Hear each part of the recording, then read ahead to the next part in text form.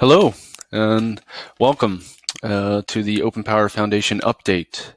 Uh, my name is James Kulina. I'm the Executive Director of the Open Power Foundation. Uh, we also have Mendy uh, who is the President of the Open Power Foundation today. And so you might be wondering uh, who I am. I'm actually the new face within the foundation. I recently joined, um, and I have a background in open source.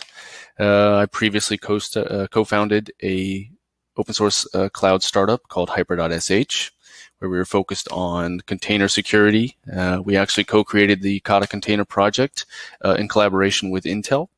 Uh, I have worked extensively with the LF actually and the CNCF, uh, along with Google's team at Kubernetes and Docker. I have a former Red Hatter working in their product OpenStack group as well as uh, worked in the telecommunication space uh, for AT&T, working on open source, uh, mostly focused on their OpenStack Telco cloud. I'm incredibly excited about uh, Open Power and uh, the foundation and what we have ahead, and I'm really excited to be helping uh, spearhead and, and lead all the new initiatives that we want to get underway. And so a little bit about Open Power.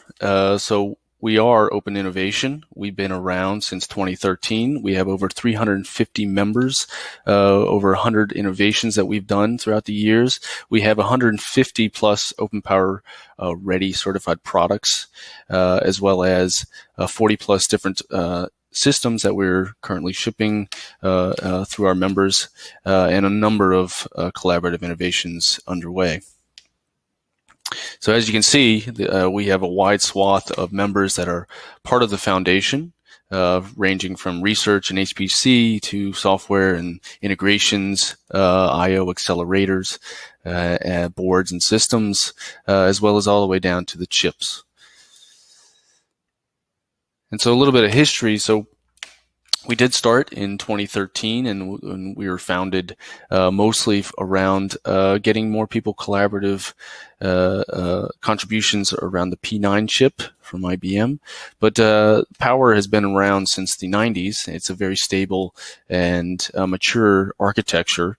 And we've 2019 was an actually a, a great year for us uh, it was a solid year. It was a year that set up 2020 and a solid foundation for us moving forward because we open sourced uh, our fully open sourced our ISA, our instruction set architecture, uh, and this includes all the patent rights, which is very uh, very useful for people who actually want to build new silicon. Uh, we actually open sourced a reference design called the Microwatt, which is a software implementation of the Power ISA, uh, as well as I think uh, really fundamental to our success in the future is, is that we moved into an open governance uh, and joined the Linux Foundation. So the Microwatt is a software implementation of the Power ISA, and this was an FPGA targeted uh, implementation. Uh, it's fully open source. It's all up on GitHub. Uh, we had over 630 plus commits. Uh, this runs the ported uh, MicroPython to it. They actually ported the uh, Zephyr IoT OS. Um, and they actually used fully open source GHDL tools for synthesis. Um, and it was recently ported to the Chisel um, programming language, and they called it the Chiselwatt. Uh, and also recently, this past month, we are able to now boot Linux on this soft core, which is amazing. Uh, so a lot of great work coming out of the Microwatt uh, soft core implementation, and allows people to developers especially to get involved to understand how the power architecture works, uh, and it's easy to get up and running. Uh, so a little bit talk about the actual open model around our ISA and why did we open source the uh, the ISA itself. Uh, and this is mostly just for open innovation, right? So that people can actually take the Power architecture uh, and you have full rights to, to, create, distribute, license, and sell uh, Power ISA cores. Uh, this is you know represented in, in software or hardware and integrated circuitry. the, the key caveat here is that you we require some compliance uh, in order to maintain the uh, already mature software ecosystem that the Power architecture has. Uh, so, in order to get those patent rights, you need to make sure that your Power ISA uh, chips are compliant with the uh, ISA itself. Uh, but you also have freedom of choice. Uh, so we actually have subsets uh, of the uh, architecture, and you have this base subset that you typically start with. But then you can also add additional uh, implementation and, and, compliant features on top of that. So it's really flexible in how you're going to consume and use uh, the Power architecture and the ISO. And then by moving under the Linux Foundation and having a Open Power Foundation work group around the Power ISA itself, uh, we uh, allow for contributions from members and non-members alike. Uh, and the beauty about this is that uh, you can uh, um, do what you need uh, with the Power ISA. and work with a variety of different members who have complementary needs as yours. And so, how we think about computing uh, at the Open Power uh, Foundation is uh, moving forward as we see the Moore's Law is slowing or ending. Uh, things are going to be moving towards more domain specific. We're going to start seeing uh, more custom chips, more custom CPU, more custom computing tailored towards the domain that they're uh, targeting you're going to start seeing a lot more heterogeneous computing. This has already happened, and power architecture is a driver in this. But most importantly, I think you're going to start seeing open innovation. You're going to start seeing companies come together and member companies come together to actually uh, uh, deliver uh, true innovation around uh, an open ISA. And this is going to occur across the entire hardware stack. It's not going to just be limited to the silicon. It's going to be across accelerators and software and everything else.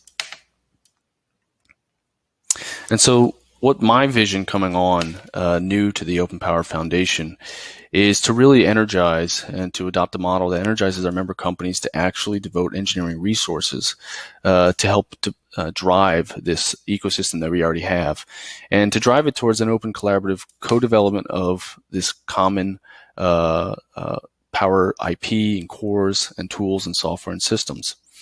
Um, it's not just about the ISA itself, but it's actually about getting IP out there for people to consume and to get a leg up. So how are we going to accelerate this? Well, we're going to adopt a slightly different working group structure than what we've typically had. Um, so we're going to focus around use cases uh, and industry segments. Um, we've currently have work groups that are mostly around specific technologies, and those will still exist, but and they will cut across all the different segments.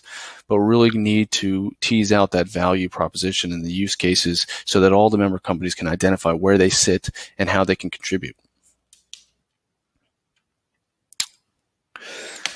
And the other thing, by moving under the LF, uh, the benefit here is is really being able to leverage all the knowledge that the Linux Foundation has in, in driving uh, really thriving ecosystems. And we'll be able to now partner and collaborate with all the other LF projects that will be able to consume the power architecture. And this includes uh, RISC-V and CHIPS Alliance, uh, which focus on other uh, open ISA as well as IP around hardware. Uh, we're going to be working with the uh, the AI group uh, as well as the networking and and uh, automotive grade Linux and Hyperledger and CNCF. All these groups we potentially uh, now have the ability to collaborate and allow our member companies to see how they can leverage uh, these foundations and these projects as well. And the whole po- point of this and the goal is to really create that feedback loop. If you look at it from a product perspective, we need uh, these groups to inform us on what the requirements are uh, so that we can uh, uh adopt uh, the right feature sets uh, within the ISA itself to accelerate um, those type of workloads and, and to enhance the performance of those workloads. So the current Open Power Workgroup structure, as I was alluding to, is more around specific technologies, uh, but we have uh, a number of work groups already uh, set up, and they will still exist uh, moving forward um, around you know physical science, machine learning, accelerated applications. we also have this Open Power Ready, which is a certification around products and solutions that come out that adhere to the Open Power ISA. And, and we have uh, accelerators and, and uh, work groups focused on memory and, and I/O, uh, as well as the system software that runs on top of Power and all the different hardware and, and accelerators and, and, networking interfaces that uh, uh, will be used in Power systems. Where we want to be uh, is to have this set of common components, and this is, I think, foundational to us moving forward, where we need to be able to think a couple steps ahead for our members uh, and develop this reference IP so that it de-risks their ability to adopt uh, the open power platform. Uh, and the goal here is that it's going to be based on segments and it's going to be based on use cases.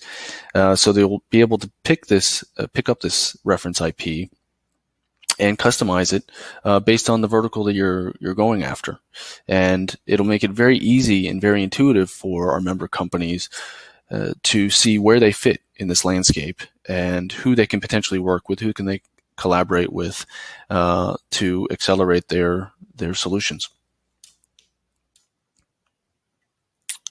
So the 2020 focus areas for the Open Power Foundation is around access uh, to these open power systems so that people, uh, developers, um, can actually get uh, get access and start developing and porting applications to the Power architecture, start testing out their solutions, uh, doing um, regression testing if you're doing uh, uh, CI/CD type pipelines, um, and this is going to be through uh, standing up cloud resources as well as technology hubs at uh, universities um, and other member companies.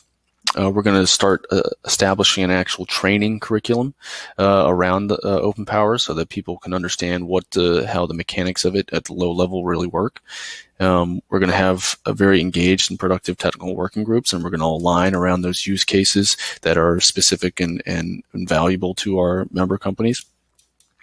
Uh, we're also going to be uh, having uh, our summits, our open power summits and industry events where we'll be uh, participants as well.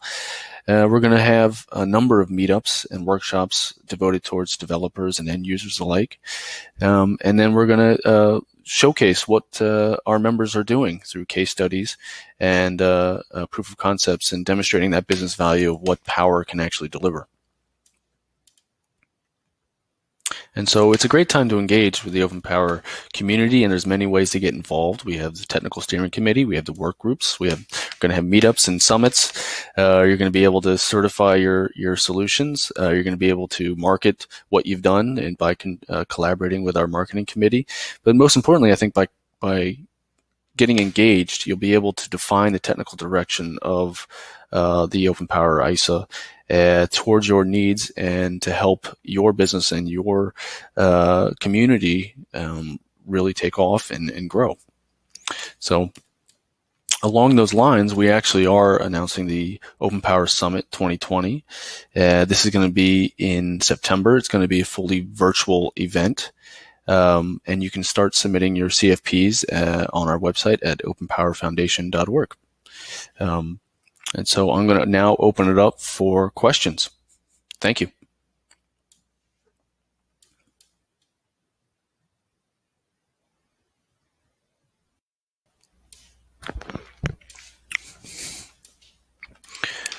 Actually, before we get to questions, we actually have another announcement that we made earlier today. Uh, and uh, Mendy, if you wanted to talk through this. The big thing that we announced today is the A2I uh, power processor and open sourcing.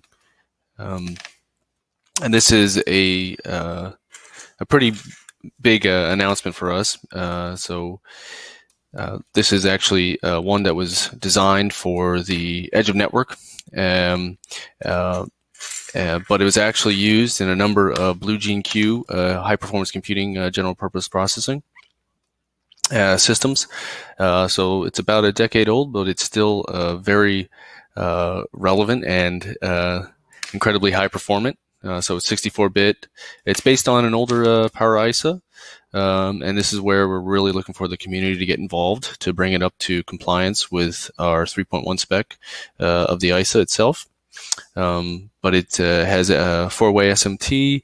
Um, it's uh, in order execution is dynamic branching. Um, and also they've they've added uh, the AXI support as well, so they know that that's a community uh, thing that was was uh, actually asked for by the community.